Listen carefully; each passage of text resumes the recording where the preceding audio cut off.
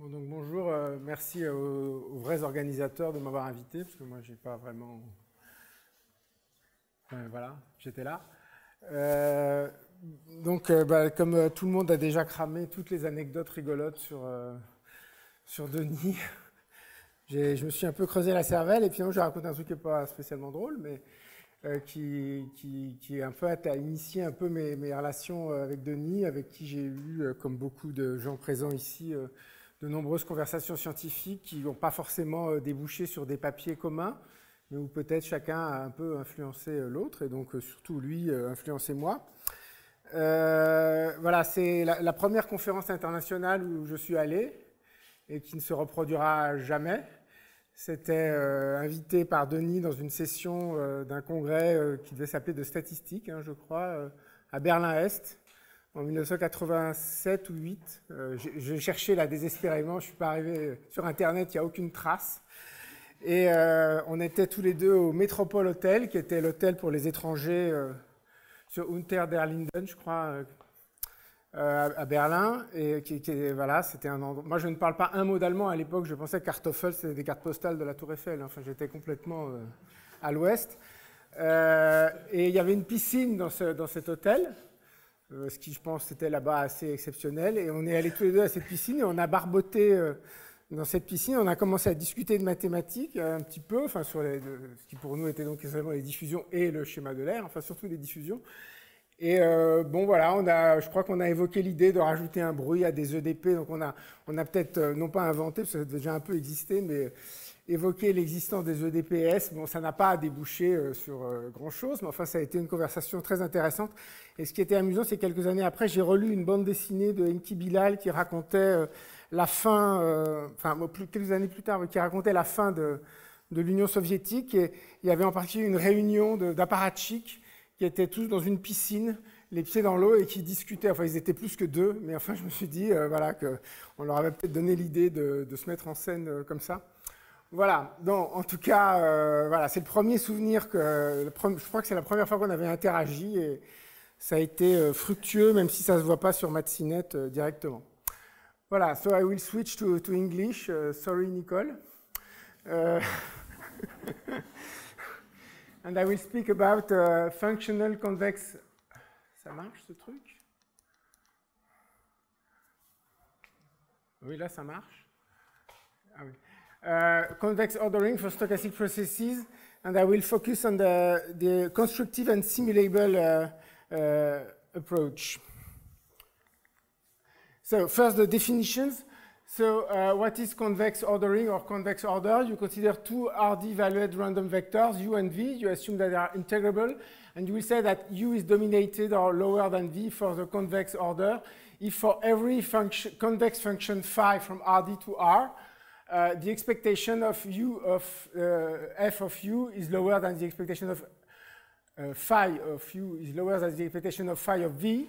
And in fact, uh, using the fact that any convex function is lower bounded by an affine function, in fact, uh, these two quantities always have a sense because the negative part of uh, uh phi of u and phi of v have finite expectation. That, then uh, things always exist in this set. And more, more recently, in fact, we, we understood that, in fact, you can even assume that phi, phi is only uh, Lipschitz. Uh, why? Because in fact, uh, any Lipschitz, uh, any convex function is limit is an increasing limit of uh, uh, Lipschitz convex function, which is obvious in one dimension. Like that, you have your convex function. You stop at some moment and you take the tangent, etc., etc. but in higher dimension, it's a bit more difficult, and you need what is called the inf convolution, that means the infimum over y of f of y plus n x minus y to the square.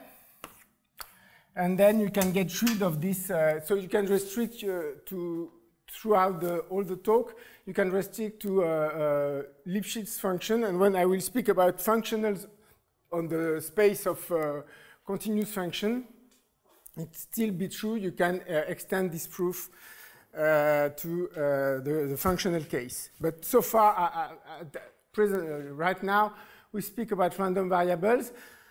And when we speak of stochastic process, first we'll speak about what we call a peacock, which is in French, sorry for this uh, short uh, intermediate in France, processus croissant pour l'ordre convexe. Uh, the terminology uh, has been adopted by Mark Yor, uh, who uh, peacock, of course, it's a jeu de mots between the, the bird and the process. So stochastic process is a peacock if, if you maps to xu is non-decreasing for the convex order. That means for any uh, convex function phi, the expectation of phi of xu is lower than the expectation of phi of xv if u is lower than v. So in some sense, uh, it's uh, one marginal uh, uh, convex ordering for stochastic process. And we'll speak, uh, if I have time, much about these aspects in the next slides. So the first consequence that you have, must have in mind when you speak about convex ordering is that as uh, plus x and minus x are both convex functions, that implies uh, that uh, u and v have the same expectation. And uh, if uh, u and v uh, lie in L2, you know that the x square is a convex function. Uh, in, uh, so uh, in one dimension, at least the variance of u is strictly lower, is lower than the variance of v. That means that in some sense, the convex ordering is an extension of, a, of the notion of, of risk. It's a, it's a more sophisticated measure of risk. Uh, and uh, even th that can be that can appear, for example, when you look at the value at risk or conditional value at risk, we are notion used in finance to evaluate risk. And you see that, uh, in fact, uh, uh, the conditional, um, the convex ordering comes in the game very fast if you want to analyze this problem. So, examples of motivation. So, of course, the most classical example is if xt is a martingale, then xt is a, a peacock. That means that, of course, by the Jensen inequality, if S is lower than T, the expectation of phi of xs is lower than the expectation of phi of xt is due to Jensen inequality at this stage because you replace xs by the expectation of xt given xs, and then you apply uh, the conditional Jensen inequality to this quantity. So the second example uh, concerns uh, centered Gaussian distribution. Uh, we'll say that two matrix uh, uh, with D uh, rows and two columns uh, uh, is lower than A is lower than B. If B star minus A A star lies in S plus of D, that means the symmetric positive definite matrices, uh, not definite, positive matrices. And you can prove that A is lower, is dominated by B in that sense, then AZ is dominated by B, BZ when Z is a, no, uh, is a centered normal distribution for the convex order. Okay, that you can write like that, of course, because you can write the convex order only depends on the distribution, so you can write it between two random variables or between their distributions. So it's still true, in fact, when Z is only radial, that means that uh, Z, the law of Z is invariant by uh, left multiplication by an orthogonal matrix. So of course, this is much more demanding. This is uh, one line. In fact, uh, this line is here. And uh, this uh, needs uh, one page and a half, something like that. So how to prove that? In fact, it's just a consequence of this martingale property. You just introduce the, the, the two instant martingale. x1 is az1, x2 is x1 plus bb star minus aa star square root times Z2, and then you show that this is a martingale and that X2 has a normal distribution with a covariance matrix BB star. Uh, in fact, in dimension one, it's completely obvious, and that means that if sigma is lower than var theta in uh, absolute value, then uh, the, the, the, the, corresponding normal distributions are ordered for uh, the convex ordering. Okay, there is a, an alternative proof which is uh, in some sense more general uh, in one dimension. That means if Z has a symmetric distribution, then by Jensen inequality, you can show that the, this function U maps the expectation of phi of UZ is even, convex, and attains its minimum at zero, uh, at U equal to zero. And then uh, this function is non-decreasing on R plus and non-increasing on R minus, and that means uh, exactly uh, the convex ordering that, that's reproved this, this property, for example. Okay, so uh, about the converse of this uh, martingale implies uh, processus croissant pour l'ordre convexe, you have the Strassen's theorem, which says that uh, if mu is dominated by nu for the convex order, if there is a martingale uh, transition uh, between them, that means nu is the image of mu by p, p by, by, mu, and for every x in Rd, uh, the integral of y px dy is equal to x. That means that this is a martingale kernel. And you have, in fact, in some sense, it's essentially the same theorem, but in a pathwise, more pathwise uh, uh, framework due to Kellerer, uh, which says that X is a peacock if and only if there exists a martingale such that T by T, xt, has the same distribution as MT. So, and we say that sometimes that X is a one martingale. So both proofs are unfortunately not constructive. There are some Han is uh, hidden somewhere. So uh, then uh, Francis Hirsch, Bernard Roynette, Christophe Profeta, and Marc Yor wrote a monography with many, many, many explicit representations of peacock by true martingales. Uh, there are uncountably many examples because there are families indexed by real numbers. So why, why, why there is a revival, uh, okay, motivated by finance, and uh, Nicole uh, just explained that. Uh, but the, maybe more, maybe simpler than what uh, Nicole explained. Uh, if t is fixed, you consider now that the parameter is the volatility of the geometric Brownian motion. It's a peacock because when you consider that, you just have to include sigma inside the Brownian motion, putting it to the square, and this is clearly a martingale in sigma.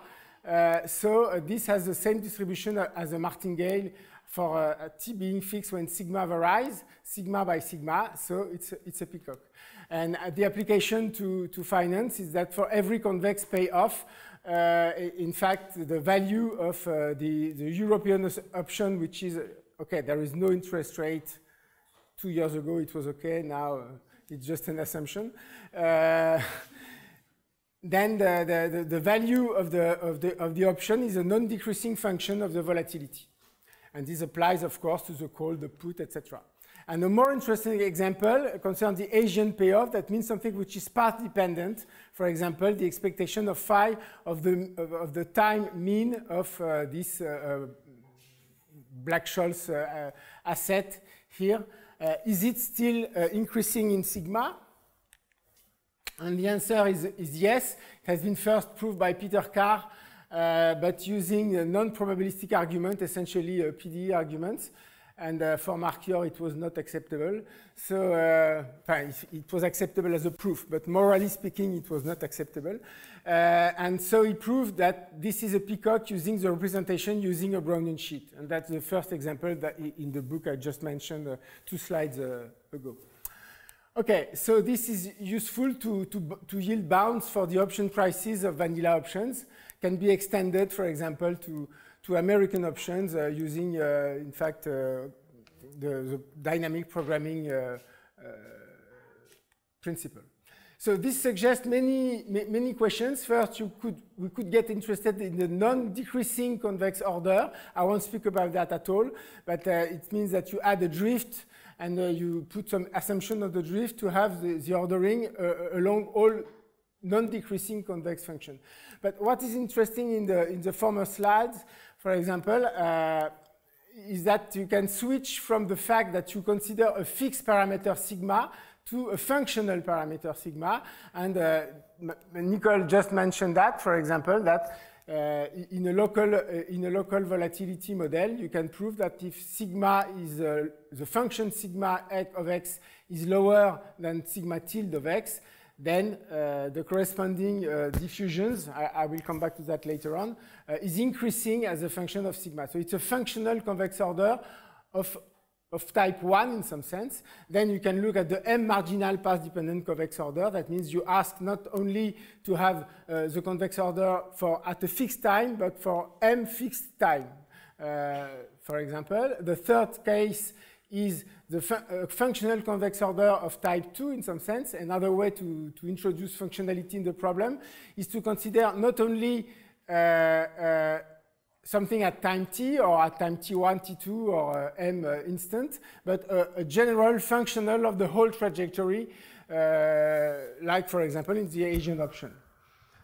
Okay, you can speak about, look at Bermuda option or American options, and I cite some references, or to jump uh, risky asset dynamics uh, still in finance or not for finance, etc., uh, etc. Et you can look, you can look at this problem through Martingale optimal transport, etc., uh, etc. So there are many contributions to this to this topic in the last 10 years. Okay, so what our aim is to to establish this uh, two types of convex ordering between uh, process, diffusion processes with the constraint, that's why I choose this topic for, for this conference, based on a time discretization of continuous time martingale dynamics. It's a long sentence just to say Euler scheme, uh, essentially.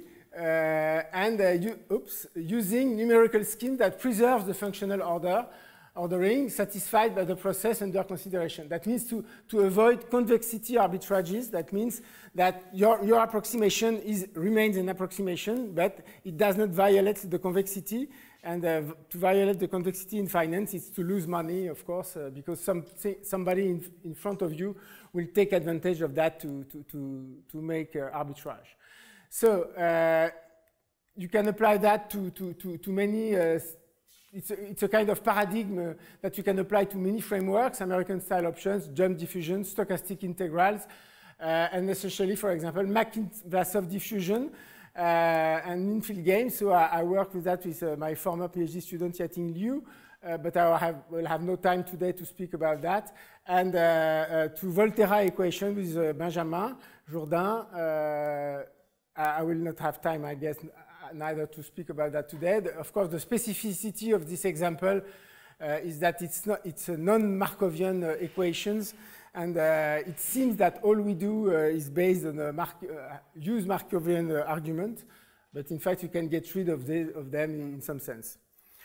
Because in some sense, all discrete time processes are Markov, as, you, as you know, in some sense.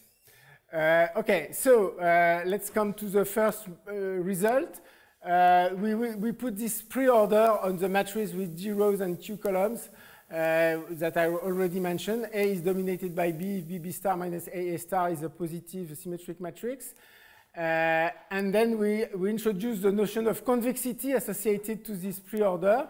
That means that we'll say that a function sigma having value in this matrix space is convex uh, for uh, is convex if and only if for every y, x and y, every lambda in 0, 1, there exists orthogonal matrix such that sigma of lambda x plus 1 minus lambda y is lower for this order pre-order than lambda sigma x multiplied by O lambda x plus 1 minus lambda sigma y multiplied by O lambda y.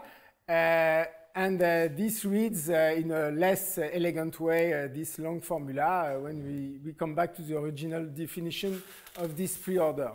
And when d is equal to and q is equal to 1, it just means that the absolute value of sigma is convex. So it's a natural extension to higher dimension of the notion of convexity of a function. So the first result in the Martingale case is the following. It corresponds to weak solutions it has been uh, established step by step uh, by myself, Ahmed Fadili, and with Benjamin Jourdain. We, we, we brought some um, improvements years after years. So we consider two functions which are continuous with linear growth, and uh, the, the, Martingale uh, diffusions uh, associated to, to, to, them. So there are two different Brownian motions in some sense that just to say that it, it, it can be, uh, it, it is a priori some weak solutions. And you have the, the following results. If the starting value are a bit more than L1, then uh, if x0 is dominated for sigma is dominated by x0 uh, for the second equation, and if either sigma or theta are convex for my pre-order on the, uh, set of uh, ma matrices. so one of them only, one of the two. And the second assumption is that sigma is dominated still for this pre-order by theta. Then you have two results. First, for every functional uh, defined on the set, uh, on the space of continuous function, which is lower semi-continuous and convex, in fact, in infinite dimension, all, not all functional are uh, convex are lower semi-continuous, but all functional of interest are lower semi-continuous because if this assumption is not satisfied, you cannot do very much, nothing works uh, in a satisfactory way. So the first result is that the function x uh, maps to the expectation of uh, x starting from small x is convex from Rd to minus infinity plus infinity. If you want to be sure that it is finite, you just have to, to connect the growth of f at infinity with respect to the uh, L infinity uh, subnorm uh, and uh, the integrability of the initial value. Okay, and you have the convex ordering. That means that the expectation of x sigma is lower than the expectation of f of theta. So what does it mean in practice? Uh, in practice, that means if you have two functions like that, uh, which are not convex, if you can uh, um, uh, separate them by a convex function, uh, you have that uh, the, the expectation of functional of this one, if sigma is that and theta is that, you will have the result which holds. And you can also, if you can upper bound and lower bound a function, let's say uh, sigma by two functions which are convex, then uh, the expectation of a functional of a martingale diffusion with this uh, diffusion coefficient will be lower bounded and upper bounded by the, the, the same quantities related by these two convex functions. So that's, uh, that's the natural application. And you have the counterpart uh, for strong solutions. Uh, the main difference is that you, uh, the constraint is you assume that sigma and theta are Lipschitz in space uh, uniformly in time. And uh, then you have essentially the same result, but you don't, you just need that x0, the, so the two starting values are L1, and you have the same results uh, with the same constraint if you want to be sure that everything is finite. In fact, you, you have a small gain, but uh, okay. Uh, and once again, for the proof, in, that in both cases, you, by this uh, inf convolution uh, argument, you can consider in the proof only Lipschitz functional, uh, which are, of course, for which everything is finite given this assumption. Okay you can extend that to the case of scaled Martingale diffusion. That means you can add the same drift to the two diffusions, which is affine. Uh, it's just a matter of change of variable. Uh, it's essentially trivial uh, because you don't do the reasoning on this diffusion, but on this one, and it works perfectly. So this is important for application to finance in when interest rates are not zero, and you have a monotone version. Okay, what is the strategy? We will consider a discretization, essentially the Euler scheme, which is accessible to simulation. We can propagate convexity and propagate the comparison and transfer by functional limit theorem à la Jacod-Shiryaev, for example, if you work with uh, weak solutions, or by just uh, uh, standard uh, strong LP convergence of the Euler scheme uh, in the, other, uh, in, the, in the other case. Okay, that's, that's the strategy on, for all the proof. So, for example, the first step uh, of the proof is to consider some arch model. So an arch model uh, in that case is essentially uh, the Euler scheme. It's just a matter of coefficient that you hide in sigma k and theta k. You hide the step here.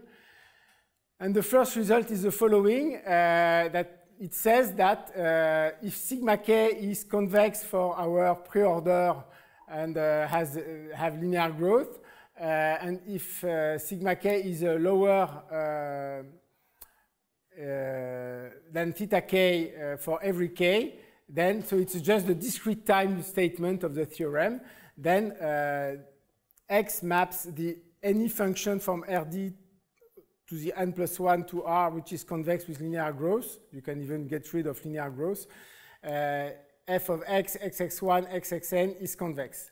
Uh, you can get rid of linear growth using uh, this type of argument. And how to prove that? Uh, in fact, you consider uh, the semi-group associated to the arch model. The semi-groups the, not the semi-groups, the, the, transitions associated to this arch model. That means the expectation for a convex function of f of x plus sigma k of x times z. And uh, you can write it as qf of a, enfin, qf of a with a is equal to sigma k of k, where this uh, in between, uh, I would say, transition expectation of f of x plus a z. You can prove very easily that this qf of a, which is a function of a matrix, uh, is a right uh, invariant for uh, orthogonal matrices, convex, non-decreasing for the convex ordering Uh, that uh, by the uh, using the starting example. That means if A, A star is lower than B, B star, then QF of A is lower than QF of B. That's what I mean. So then you can prove that P sigma K of F is convex. Why? Because using this argument that QF of A is non-decreasing for the convex ordering, and using that sigma k is convex for the convex ordering, you know that this quantity is lower than this quantity for the pre-order, so this quantity is lower. That's why the inferior, uh, the lower uh, symbol is, uh, is in red, because the, the, argument is here. You have this inequality, and then uh, this quantity, of course, by the convexity of this operator, this quantity is lower than this quantity, and then you have the result. And then you, you see that this uh, transition propagates convexity. And uh, then, of course, you can, you can compose uh, this. Uh, okay, we, we all know that the, the, the, composition of two convex functions is not always convex, but this is not the argument here. It's just that if this function is convex, if you uh, compose it with the same at time n minus 1, it's still convex, etc. by by uh, induction. You can also uh, work uh, forward or backward, it doesn't matter. So using that, you can prove the theorem that under the same assumption, in fact, you add that uh, the, the, initial values are ordered for the convex order, then you can prove that x0, xn, the whole law of the, the whole distribution of the arch uh, model uh, x is dominated by the arch model y for the convex ordering. And what is the proof? So you can, in that case, I will prove just things in the marginal case. That means in the case of you have a function of one uh, instant. So in that case, you can do the reasoning backward or forward. It doesn't matter, but I will do it backward because if you consider a general functional, only the backward way uh, works. For technical reason, a bit too long to explain here. So uh, the, the argument is the following. You, you, you, you, consider, in fact, of course, you want to consider the, the whole, uh, the fact that the expectation of f of sigma n is in fact the composition of the successive transition from one instant 1 to instant n.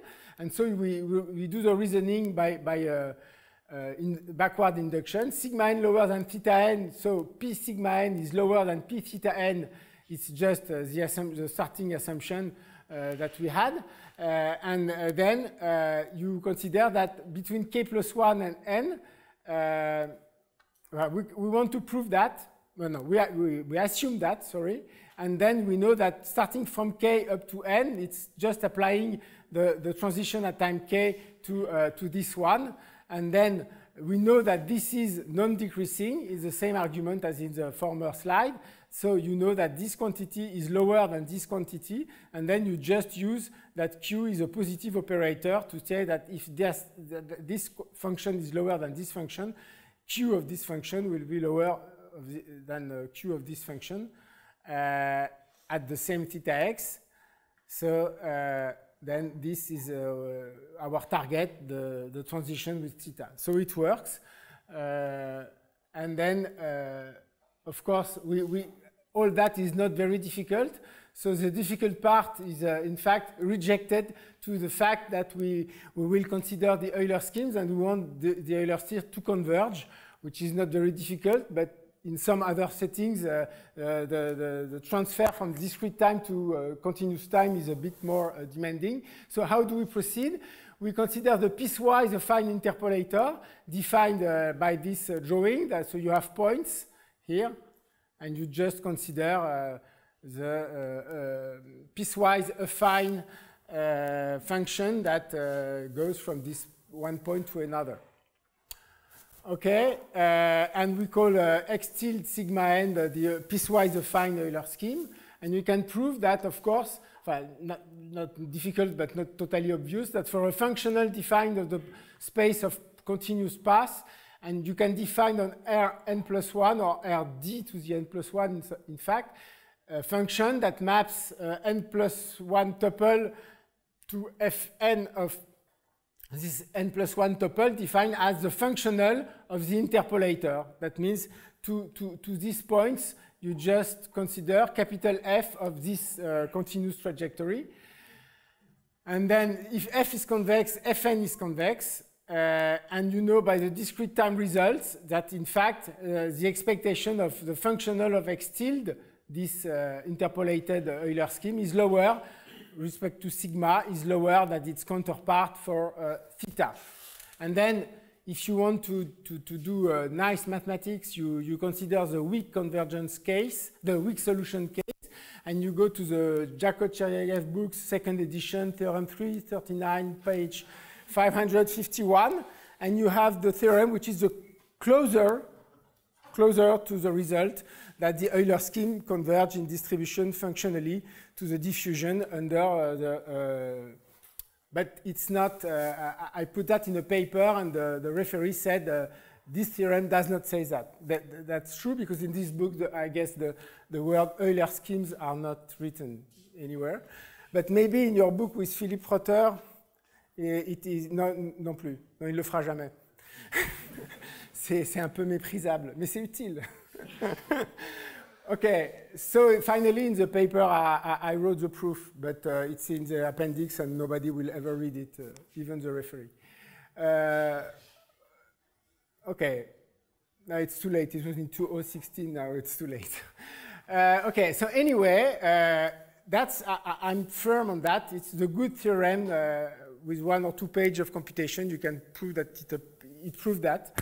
Uh, so x tilde sigma converge in distribution to uh, x sigma as n goes to infinity. So you can make the, the, the expectation converge uh, under uniform integrability assumptions. Uh, and on the other hand, uh, if you just if you consider strong solutions using this trick, you can get rid of some technical difficulties. but in both cases, it works. Okay. So is convexity uh, necessary, uh, in fact, in this problem? Because uh, if you think about what Nicole said uh, half an hour ago, uh, in one dimension, for example, it seems that the answer is, uh, is no. in fact, it's much more involved than that. So the first thing to, to note is that, in fact, in our results, the comparison results implies the propagation of convexity results for the functionals. Why? Because uh, the Dirac mass at lambda x plus 1 minus lambda y is dominated by, for the convex order by lambda delta x, Dirac mass, plus 1 minus lambda delta y. Uh, this is intuitively obvious and technically obvious. You just write uh, convexity for, uh, for any function f. So that means that in fact the expectation of a functional of the trajectory of the diffusion of the martingale diffusion starting from this value is lower than this quantity because of course the random variable is uh, corresponding is a Bernoulli with parameter lambda taking value x or uh, and y and so uh, then the, by the local the Markov property at the origin of a diffusion you have that Okay, so uh, let us focus on the propagation of, of convexity. What, we, what, what, has been proved uh, by uh, Benjamin Jourdain and uh, not really myself, in fact. Uh, in dimension one, uh, you have that the square root of 2 over pi of sigma of x. You assume that sigma of tx is equal to sigma of x. Uh, you can prove that the limit as t goes to 0 is equal, in fact, to the limit as t goes to 0 of 1 over square root of t of the expectation of f of fx for this function f alpha. Alpha is a generic continuous function absolute value of alpha t minus alpha 0. So it corresponds to a two marginal functional convex, uh, convex functional. Why? Because it depends on two instants t and 0. And so this function, if you assume that this function is convex here, uh, then you know that, uh, of course, I should have put, uh, uh no, it's okay, it's uh, like that, there is no typo. So you can prove in that case that as this function is a limit of these convex functions, functionals, uh, then the absolute value of sigma must be convex. So if convexity propagation for two marginal functionals holds true, then the absolute value of sigma is convex. We are in one dimension. Uh, so the convexity assumption on sigma or theta is mandatory, except maybe for one marginal convex order when d is equal to q is equal to 1. And so we come to the intersection with uh, Nicole's uh, talk. Uh, for 1D diffusion, so I will repeat uh, what she said in some sense. You consider a function of the one instant capital T. You assume that f is convex with right derivative f prime r. You can prove by the uh, tangent theorem uh, of, for diffusion that f prime of x is the expectation of the right derivative times the uh, tangent process, but in one dimension it's an explicit process for a martingale diffusion. Keep in mind there is no drift. And then of course, it looks like a Girsanov density. Uh, it's more than looks like. It is a Girsanov density under appropriate assumption on sigma. And then you can prove, uh, a priori, this distribution depends on x, but you can prove it's not the case, uh, that it is the expectation of q of f prime r, r of another diffusion, result of the Girsanov transform. And then uh, we know that pathwise x done yx of t is non-decreasing under appropriate assumptions, that two paths of the diffusion never, uh, never meet. So we know that this is non-decreasing. We know that the right derivative of convex function is uh, non-decreasing. So the, comp the, the, the composition of two non-decreasing functions is non-decreasing. So phi prime is uh, non-negative. So phi phi is convex. So in the 1D setting, for one marginal functional, there is a special thing that appears, which is an exception to, to, to, to the general theory. Uh, but uh, how to get rid of convexity with our method? With our method to get rid of convexity, uh, to have something which is simulable, uh, you just compute for uh, the, semi the transition associated, the semi-group here, because sigma does not, no longer depend on t in this slide, uh, that you, you can differentiate this twice, and you have this formula, which is very easy. Uh, all my students in the Master uh, Probability and Finance are supposed to know that uh, by heart. Uh, well, in practice, uh, they don't not even don't understand with the notes.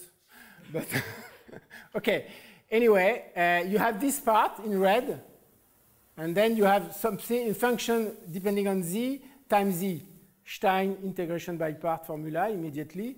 Uh, and then you have that it is the expectation of the second derivative of f times this quantity. So this quantity, here you have no, you don't see why you should, you could prove it is always positive, but here you, you, you have some hope. First, you know that if sigma is positive, which is an implicit assumption, and sigma is convex, so that sigma uh, second derivative of sigma is positive, everything is positive. This is a square, everything is positive. In the general case, it's not positive, which is you have h here, so when h is small, you say that this will win against that, so it's okay. But of course, it, it's not always true. And uh, the, it, it, works if you truncate, in fact, uh, z into uh, z lower than ah in absolute value. And in that case, under various a, a, very light assumption, which in fact can be reduced to the fact that sigma is uh, semi-convex, uh, semi, quasi, semi, semi, semi-convex. That means that if you add x2 to the lambda for lambda large enough, it becomes a function sigma square plus lambda x2 becomes a convex function. You can prove that this is always positive. And so we can reprove by this uh, method uh, uh, Nicole's uh, theorem with Monique and Jeanblanc and, and Shreve Uh, with an argument, uh, with, uh, with, with the Euler scheme, which makes possible to have that numerically. Okay, so just to, to, to conclude, there is another way of, at that moment you, you, you can ask why uh, is it just reduced to this uh, I'm sorry a bit anecdotal uh, property in terms of functional. Uh, in fact, no, uh, and uh, I, I, didn't put their names, I'm sorry, but other people thought about that before us with various level of rigor. a function f is directionally convex, which is an, an extension, of, not an extension, another definition around based on convexity. If for every i, uh, the, the function only dependent marginally of xi is convex, and if its uh, partial derivative which, uh, is uh, non-decreasing, but not only in xi, in all its variables. So it's more than being marginally convex, and it's different from being convex. And uh, there is a functional version. If you have, if, if a function, okay, at least when f is twice differentiable, it's capital F here, and here it's uh, the second uh, differential. For every u and v positive, you ask the second differential of f at uv to be positive. You have a definition without uh, regularity, but for this kind of directionally convex functional, you have uh, exactly the, the, same theorem as usual, propagation of convexity and comparison for functional uh, which are of this type. And uh, I, I, just uh, finish by this uh, just counterexample. example, not counter example, to understand the connection between di directional convexity and, uh, and, convexity. You just consider uh, quadratic form, uh, ax2 plus by2 plus cxy. f is convex, a and b be assumed to be non-negative f is convex if and only if c square is lower than 4ab, and f is directionally convex if and only if a, b, and c are the three of them non-negative. That means that convexity covers uh, this uh, region. Uh, it's c is a parameter in this in this scheme. So convexity is for c between these two values, and directional convexity is here. So uh, nothing is included in uh, nothing, but you see that now uh, you can find functional which are not convex, but directionally convex, for which uh, it's all true. It holds true. So I will stop here because I'm, i think I'm uh, running out of time. I, what I just want to say that all that can be extended to McKean-Vlasov, uh, to McKean-Vlasov result to McKean-Vlasov by assuming that sigma and theta are non-decreasing uh, for uh, as a function for the convex order as a function of the argument, uh, the measure argument, the distribution argument mu. Both of the uh, one of them is both convex for the convex ordering uh, and uh, non-decreasing for the convex ordering, and so you have essentially the same results. And uh, you have the, the, the, the, same thing for, uh, in fact, for, uh, for the, the um, Volterra equation. But here you, you are forced to use convexity all the time. So far, we never found with Benjamin any way to, to relax convexity. And it's always the same method, and you can apply that to jump diffusion, you can apply that to American options. Uh, what is hidden, in, in fact, is that when you deal with a functional case, which I did not prove at any moment in these slides, you use some dynamic programming formula, which is linear when you are dealing with functionals, uh, standard functional, and when you deal with American options, you use uh, uh dynamic, backward dynamic programming in discrete time, uh, which works the same because you just add a max, which is uh, very friendly with convexity. Okay, so I stop here, uh, and thank you for your attention.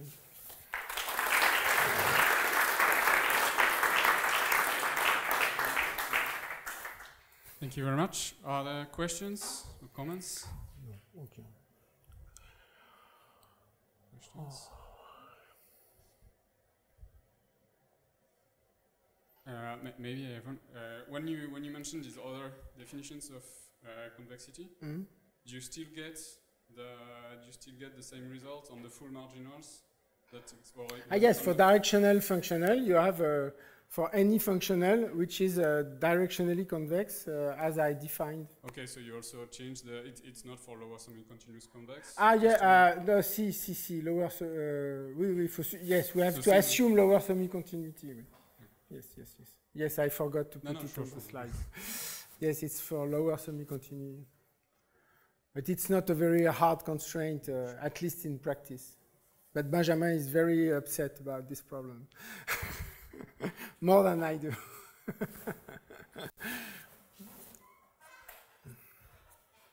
okay, no further questions?